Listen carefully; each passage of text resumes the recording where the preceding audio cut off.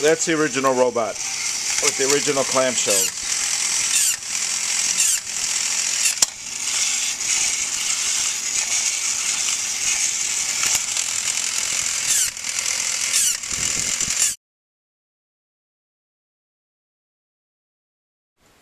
I'm going to give a brief uh, overview of how this part was created in SolidWorks.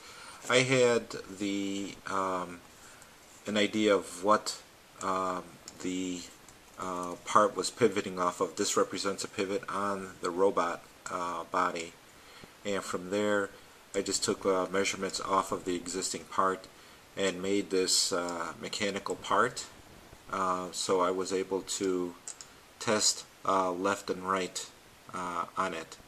Um, you know, send it to SLA. Um, I built a representation of the uh, robot's body so I could see everything in context. And this is the first uh, test of uh, these parts just to, you know, just really quickly done. I wasn't too crazy about these uh, this body type and I'll show you what I ended up with uh, next.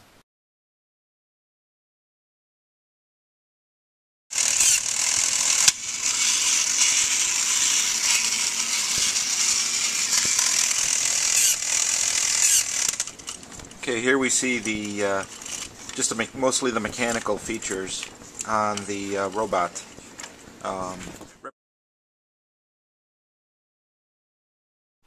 okay, here is uh, one part that was designed uh, around the uh, existing mechanicals. It has uh, pivots and clearances and also allows the uh, part to be pulled down and to be pushed up uh, by the existing robot toy mechanism.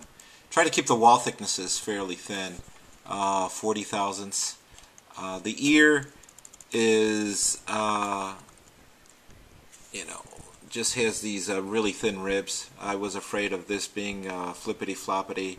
In I, in retrospect, the uh, the SLA, uh, I'm sorry, the rapid prototype was, um, you know, pretty strong, and I didn't need to have ribs underneath, and this wouldn't really undergo any true mechanical stress.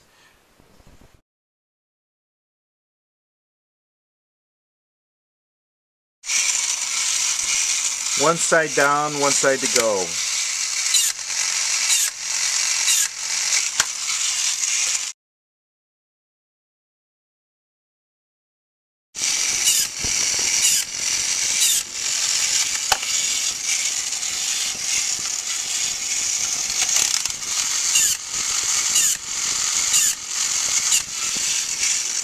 Come on.